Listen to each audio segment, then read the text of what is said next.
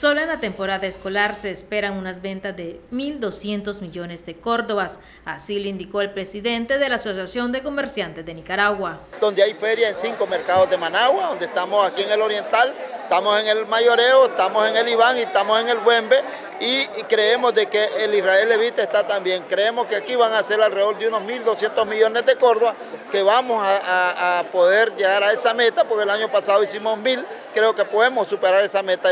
En los mercados se encontrarán uniformes, mochilas, zapatos y útiles escolares, todo lo que necesitan los estudiantes para este regreso a clase 2024. Ofertando las mochilas a mitad de precio, les quedarían en 290 Córdoba. Eh, como podemos ver, hay este, lonchera, les podemos ofrecer, eh, solamente acá. Eh, tenemos faldas, lo que es camisa, los pantalones los precios pues este, varían, pueden pasar siempre nuestros clientes a, visitarnos para que vean y pues tenemos buenas ofertas en lo que es eh, crayolas, carpetas, todo un poco. Los comerciantes afirmaron que tendrán descuentos especiales y así brindar un ahorro en economía familiar. Tania Sirias, TV Noticias.